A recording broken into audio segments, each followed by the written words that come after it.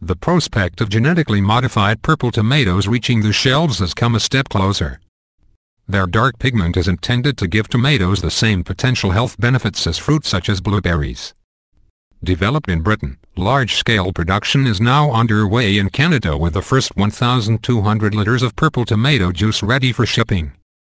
The pigment, known as anthocyanin, is an antioxidant which studies on animals show could help fight cancer.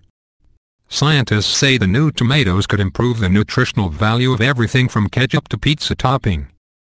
The tomatoes were developed at the John Innes Centre in Norwich where Professor Cathie Martin hopes the first delivery of large quantities of juice will allow researchers to investigate its potential. With these purple tomatoes you can get the same compounds that are present in blueberries and cranberries that give them their health benefits, but you can apply them to foods that people actually eat in significant amounts and are reasonably affordable, she said.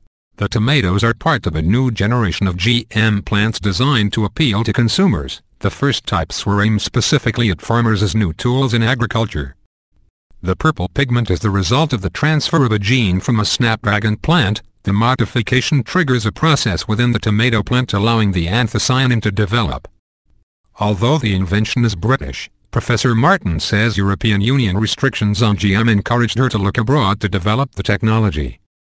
Canadian regulations are seen as more supportive of GM and that led to a deal with an Ontario company, New Energy Farms, which is now producing enough purple tomatoes in a 465 square meter, 5,000 square feet, greenhouse to make 2,000 liters, 440 gallons, of juice. According to Professor Martin, the Canadian system is very enlightened.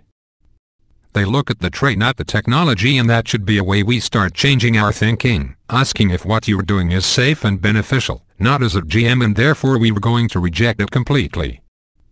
It is frustrating that we've had to go to Canada to do a lot of the growing and the processing and I hope this will serve as a vanguard product where people can have access to something that is GM but has benefits for them. The first 1,200 liters are due to be shipped to Norwich shortly, and because all the seeds will have been removed, there is no genetic material to risk any contamination.